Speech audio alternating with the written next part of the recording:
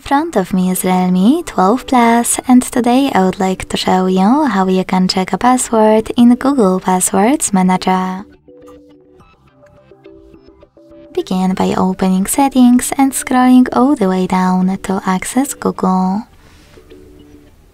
Then choose all services. Select autofill, autofill with Google and Google Password Manager. Following that, click on any password that you wish to check and enter your current screen lock. Then use this eye icon next to your password to make it visible. Thanks so much for watching. If you enjoyed this video, leave a like, comment and subscribe. Bye!